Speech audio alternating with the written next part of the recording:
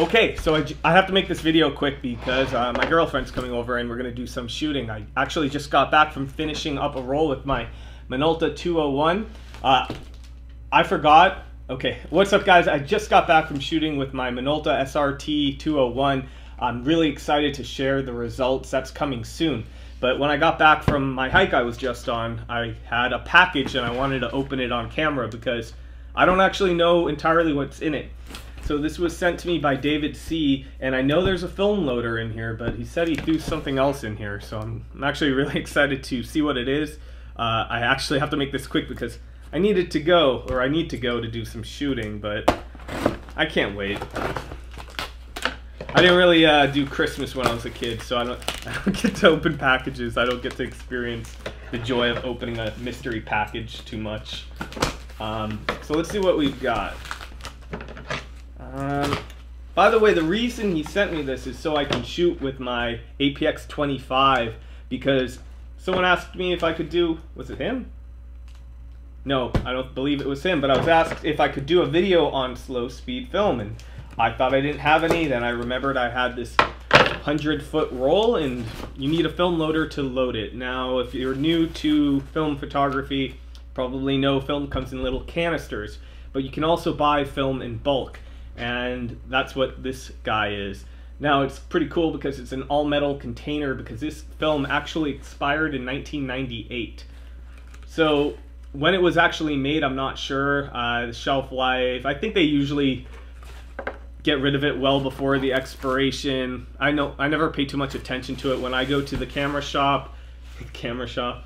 Um, usually, if it's even near the ex- expiration date, they sell it for less. Um, but yeah, I, I imagine it comes in a plastic casing now, which long, long diatribe. I'm very good at those. All right, so here's the first thing. It looks like it is the film loader. So I'll do a whole video on this. A lot of bubble wrap. There we go.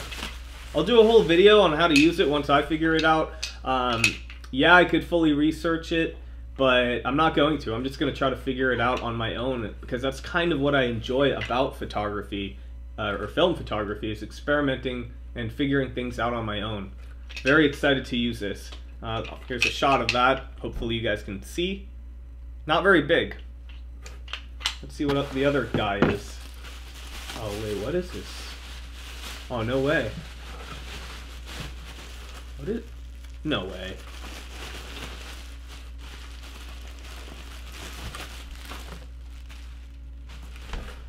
I'm not even familiar with this camera. Oh, wow. Oh. Oh, I think this was what Rolly... Check this out.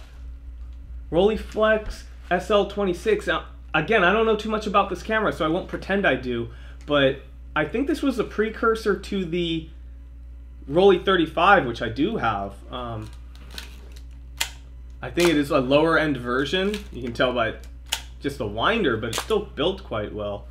Beautiful condition. Thank you. Thank you so much. Now, does this even take... I don't even know if this is a 35 millimeter film camera. Um, it's very interesting. I believe this takes a cartridge film, like uh, I'm thinking it's like a 126 cartridge, and that's why it's SL26. I don't know. I'm not gonna speak about something I don't know enough about, but it has um, it looks like a, so it's a Carl Zeiss lens, Tessar 2.8, 40 millimeter. All right, I'm gonna definitely shoot with this as soon as possible. I've got to cut the video short here. Thanks so much, David. Uh, this is really, really generous of you. I really appreciate it. I will show some results with it as soon as I can. All right, I'll see you guys soon. Again, next video coming up is going to be the Minolta SRT 201. It's going to be a first look video. It's my first roll with it. I've shot, I think, with an SRT 201, uh, 101. I've had a few Minoltas in my collection, but I've never actually shot with this one, so it will be a first roll episode.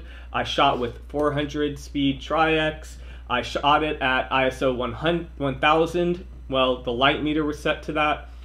It will actually be developed as if it were closer to 1600 because I am going to develop it in Diafine. And if you're not familiar with diaphine, Diafine automatically pushes film up about two stops. It, it depends on the on the actual film, and they have a chart that will tell you. But I know Tri-X, I usually rate it at 1250 if I can, or sometimes 1600, but it usually pushes it to about 1600. Uh, most people online seem to agree that 1250 is a good way to rate it when you're gonna use Diafine.